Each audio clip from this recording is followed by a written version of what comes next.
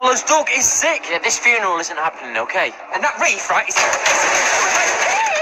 are you doing? Hey, what are you doing? They're my daughter's flowers. What? Clary's... Was my daughter. Darren, look, I know what Clare did, but a father's got a right to bury his daughter in peace. But you knew. You knew Clare was his daughter. I believe this. Right, you liked him. You were supposed to be his